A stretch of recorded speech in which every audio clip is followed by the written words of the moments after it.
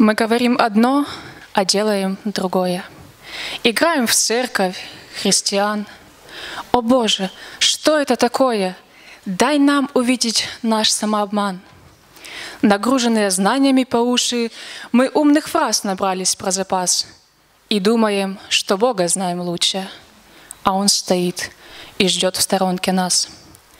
Он ждет, когда в своих бегах суетных мы вдруг поймем, что Бога с нами нет, что в исполнении дел добрых, важных, светлых забыли про того, кто дал нам свет.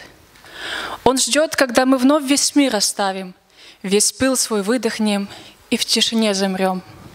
Когда мы вновь в Его глаза заглянем, когда мы вновь побудем с Ним вдвоем. Мы слушаем, киваем, понимаем, но слово исполнять мы не спешим. Выходим в мир и тут же забываем жемчужины, теряя по пути. В глазу другого ссор мы замечаем, на бревна же свои и не глядим. Поднявшие руки всех благословляем, а помогать не думаем другим.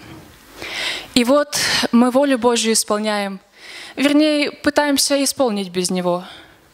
Мы лишь устами небо вопрошаем, а сердце где-то очень далеко.